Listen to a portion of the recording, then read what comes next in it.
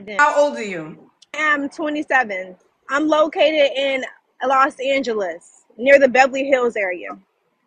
I'm a Sagittarius, so it's my season.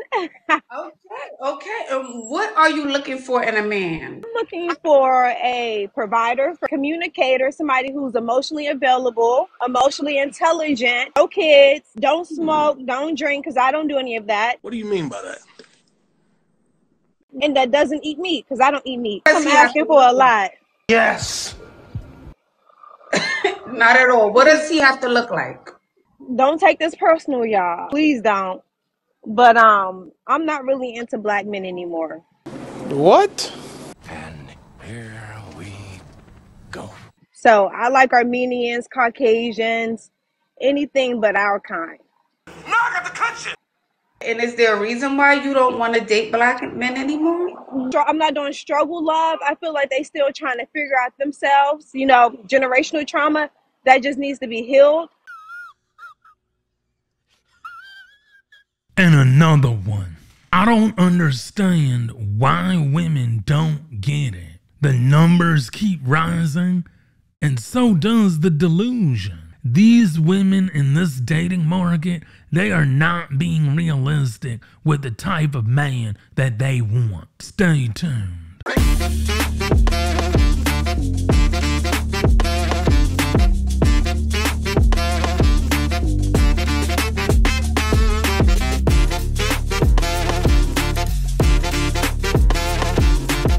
What's up, everybody, and welcome to another video. Don't forget to hit that like button on your way in.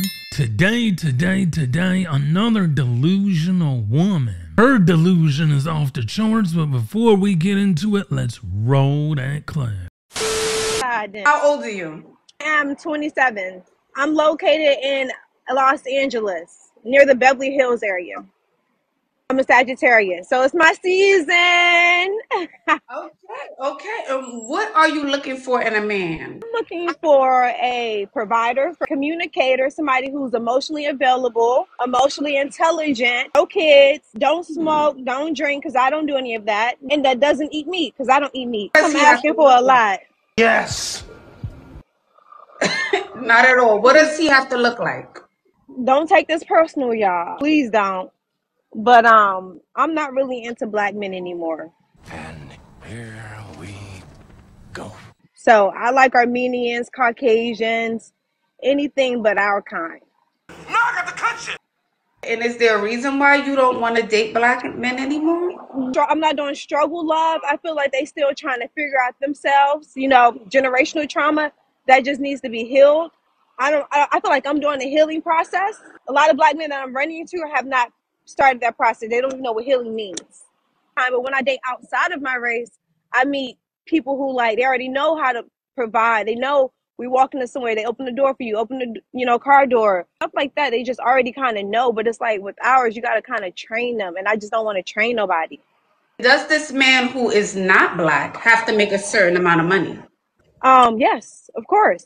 I take very good care of myself, so I want somebody that can also take very good care of themselves and me as well.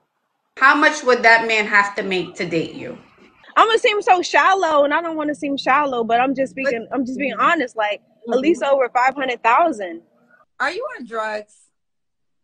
okay, so five hundred thousand or more. Are you, and Yes. what? And since we're on the five hundred thousand, because I think men who are making half a million dollars may feel like they can do what they want when they want, right? So, what are your deal breakers if you're dating that man who makes five hundred thousand dollars? Hmm, that's actually a good question. I never really thought about that, to be honest with you. You are so dumb. You are really dumb. For real. I want to remind everybody that 500K is not realistic. And see, the reason why a lot of women are saying, don't settle, don't settle, get a man, get what you want, get what you want, get a man, don't settle. I want you to guess. Leave a comment and guess how many men in the United States alone make over 500K a year or 500K? Pause the video right now and I want you to guess. All right, so I'm going to assume that you guessed and put a comment because the answer 1 to 2%. What did he say? 1 to 2%. And this is what men are saying. Modern women are chasing after 1 to 2% of men. Other modern women are telling women not to settle. So you have a bunch of women that are not 8, 9, and a 10 going after the same type of man. Everybody wants to make and get with a man that makes a 100K or more. Stop it. Get some help. Men that make a 100K or, or more, 17% of men in the United States make a 100K or more. And as you go higher Huh? in income, that number goes down. Oh! As you go higher in your income wants, ladies, that percentage goes down. Oh! So I want you to look at this from a realistic standpoint, ladies. 2.3% of men make over or at 300K. Huh? So do you really think that you're going to get a man that makes that much money? Realistically. Nope. You're not. So you have a pipe dream that will never come to reality. And then you're teaching other women to have that same pipe dream. See, what's going on in the dating market with women is that you have a pipe dream and you want other women to have that same pipe dream. So somehow, some way, all the women in the world are gonna get a man that makes six figures or above. Do you know how silly that sounds? That sounds very silly. They're not being realistic. Do you really think that you're going to get a man that makes six figures and you're not making six figures? You don't even know where they hang out at. You don't even know where they travel to. You can't even afford to be in the same room with them. Got him. We fucking got him. You don't run in the same circles. You don't live in the same neighborhood.